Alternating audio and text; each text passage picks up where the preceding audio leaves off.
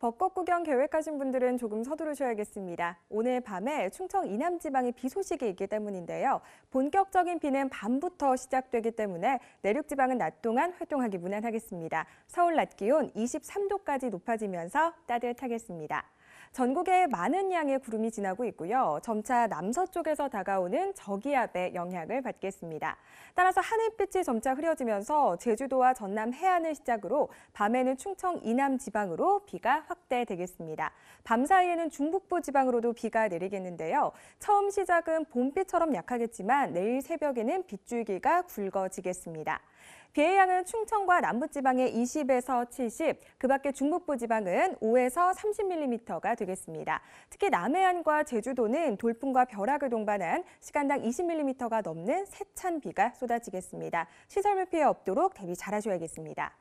중부지방 낮 기온 어제보다 2도에서 4도가량 높겠습니다. 서울 23도, 춘천도 23도, 강릉은 19도가 예상되고요.